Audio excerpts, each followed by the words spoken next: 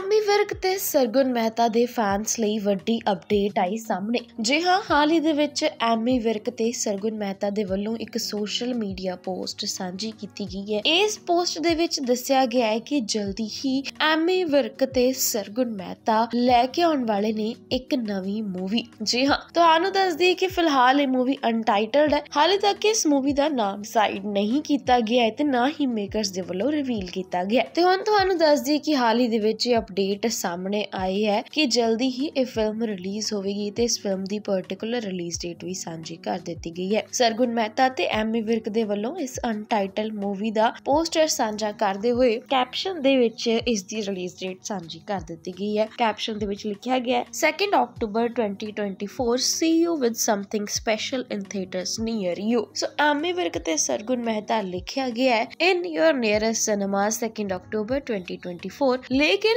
ਹਾਲੇ ਤੱਕ ਇਸ ਫਿਲਮ ਦਾ ਨਾਮ ਰਿਵੀਲ ਨਹੀਂ ਕੀਤਾ ਗਿਆ। ਵੈਲ ਐਮੀ ਵਿਰਕ ਤੇ ਸਰਗੁਣ ਮਹਿਤਾ ਕਾਸਟ ਨੂੰ ਦੇਖ ਕੇ ਲੋਕ ਇਹ ਵੀ ਅੰਦਾਜ਼ਾ ਲਗਾ ਰਹੇ ਨੇ ਕਿ ਇਹ ਫਿਲਮ ਕਿਸਮਤ 3 ਹੋਣ ਵਾਲੀ ਹੈ। ਕਿਉਂਕਿ ਕਿਸਮਤ ਤੇ ਕਿਸਮਤ 2 ਦੇ ਵਿੱਚ ਅਸੀਂ ਇਹਨਾਂ ਦੋਹਾਂ ਦੀ ਜੋੜੀ ਨੂੰ ਵੇਖ ਚੁੱਕੇ ਹਾਂ। ਸੋ ਹੁਣ ਇਹੀ ਉਮੀਦ ਕੀਤੀ ਜਾ ਰਹੀ ਹੈ ਕਿ ਇਹ ਫਿਲਮ ਕਿਸਮਤ 3 ਹੈ, ਜੋ ਕਿ ਸਿਨੇਮਾ ਘਰਾਂ ਦੇ ਵਿੱਚ 2024 ਨੂੰ ਰਿਲੀਜ਼ ਹੋਵੇਗੀ। ਦੱਸ ਦਈਏ ਕਿ ਹਾਲ ਹੀ ਦੇ ਵਿੱਚ ਫਿਲਮ ਦੇ ਡਾਇਰੈਕਟਰ ਜਗਦੀਪ ਸਿੱਧੂ ਦੇ ਵੱਲੋਂ ਵੀ ਸੋਸ਼ਲ ਮੀਡੀਆ ਤੇ ਇੱਕ ਸਟੋਰੀ ਸਾਂਝੀ ਕੀਤੀ ਗਈ ਸੀ, ਜਿਸ ਦੇ ਵਿੱਚ ਉਹਨਾਂ ਨੇ ਦੱਸਿਆ ਸੀ ਕਿ ਸੁਫਨਾ 2 ਤੇ ਕਿਸਮਤ 3 ਉਹ ਜਲਦੀ ਹੀ ਰਿਲੀਜ਼ ਕਰਨਗੇ ਤੇ ਹੁਣ ਇਸ ਅਪਡੇਟ ਦੇ ਸਾਹਮਣੇ ਆਉਣ ਨਾਲ ਇਹ ਵੀ ਪਤਾ ਲੱਗ ਚੁੱਕਿਆ ਹੈ ਕਿ ਜਲਦੀ ਹੀ ਸਾਨੂੰ ਕਿਸਮਤ 3 ਵੀ ਵੇਖਣ ਨੂੰ ਮਿਲ ਸਕਦੀ ਹੈ। ਸੋ ਹੁਣ ਦੇਖਦੇ ਹਾਂ ਕਿ ਇਹ ਫਿਲਮ ਕਿਸਮਤ 3 ਹੁੰਦੀ ਹੈ ਜਾਂ ਫਿਰ ਕੋਈ ਹੋਰ। ਤੁਹਾਡਾ ਇਸ ਬਾਰੇ ਕੀ ਕਹਿਣਾ ਹੈ ਕਮੈਂਟ ਏਰੀਆ ਦੇ ਵਿੱਚ ਜ਼ਰੂਰ ਦੱਸੋ। ਇਹ ਵੀ ਦੱਸਣਾ ਬਿਲਕੁਲ ਨਾ ਭੁੱਲਣਾ ਕਿ ਸਰਗੁਣ ਮਹਿਤਾ ਤੇ ਐਮੀ ਵਿਰਕ ਦੀ ਜੋੜੀ ਤੁਹਾਨੂੰ ਔਨ ਸਕਰੀਨ ਕਿਹੋ ਜਿਹੀ ਲੱਗਦੀ ਹੈ ਤੇ ਇਹਨਾਂ ਦੀਆਂ ਹੁਣ ਤੱਕ ਦੀਆਂ ਫਿਲਮਾਂ ਦੇ ਵਿੱਚੋਂ ਤੁਹਾਡੀ ਫੇਵਰਿਟ ਫਿਲਮ ਕਿਹੜੀ ਹੈ? ਸੋ ਫਿਲਹਾਲ ਦੇ ਲਈ ਇਸ ਵੀਡੀਓ ਅਪਡੇਟ ਦੇ ਵਿੱਚ ਬਸ ਇਨਾ ਹੀ। ਜੇਕਰ ਤੁਹਾਨੂੰ ਵੀ ਲੱਗਦਾ ਹੈ ਕਿ ਇਹ ਫਿਲਮ ਕਿਸਮਤ 3 ਹੋਣ ਵਾਲੀ ਹੈ, ਤੇ ਕਮੈਂਟ ਏਰੀਆ 'ਚ ਤੁਸੀਂ ਵੀ ਜ਼ਰੂਰ ਦੱਸਿਓ। ਸੋ ਫਿਲਹਾਲ ਦੇ ਲਈ ਇਸ ਵੀਡੀਓ ਅਪਡੇਟ ਦੇ ਵਿੱਚ ਬਸ ਇਨਾ ਹੀ। ਇਸ ਤੋਂ ਇਲਾਵਾ ਪੋਲੀਵੁੱਡ ਤੇ ਐਂਟਰਟੇਨਮੈਂਟ ਇੰਡਸਟਰੀ ਨਾਲ ਜੁੜੀਆਂ ਹੋਈਆਂ ਲੇਟੈਸਟ ਅਪਡੇਟ ਵੀਡੀਓ ਤੇ ਇੰਟਰਵਿਊਜ਼ ਦੇ ਲਈ ਤੁਸੀਂ ਜੁੜੇ ਰਹੋ ਦੇਸੀ ਚੈਨਲ ਦੇ ਨਾਲ।